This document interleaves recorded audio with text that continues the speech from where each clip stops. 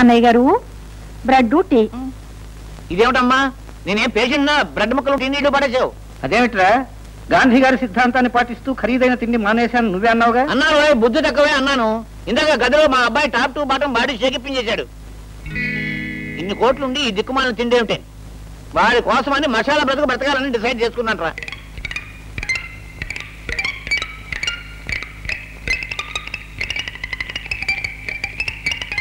ఏమండి?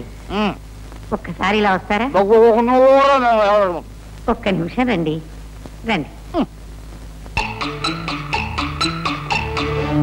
నీకేమైనా బుద్ధి రాని ఏమిటా లేకిటింది ఆయన ముందు? నీ వాడకం చూస్తుంటే మన కోర్టు కాదు కదా ఒక తుండబుడ్డ కూడా లేదని అర్థమైపోతుంది. తొందరగా చిట్టి పెళ్ళి విషయం మాట్లాడి ఆస్తి పస్తు రాయించు? కాసేపు ఉంటే ఆ టేబుల్ గ్లాసులు కూడా మింగేటట్టున్నావు. అందంగా తిని ఉందాగా మాట్లాడు. అందంగా మాట్లాడి అందంగా తింటా. నాకు ఎప్పుడు వాడు పిచ్చి పిచ్చి సలహాలు ఇవ్వబాకు బాడీ షేకిపించేస్తాను జాగ్రత్త. మీ కోపం తెప్పిస్తే క్షమించండి. ఇంకెప్పుడు నోరెత్తను. ఏమైందిరా కన్నా? ఆ ఏముందరా? ఆడబుద్ధి కదూ. మీ అమ్మాయి కట్నం ఏమిస్తావో తేల్చుకోమంటుంది.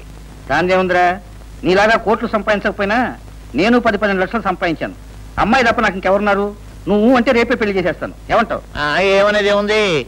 టిఫిన్ అయిపోయేలాగా పెళ్ళి అయిపోతే బాగుంటది కదా అని నా ఉద్దేశం.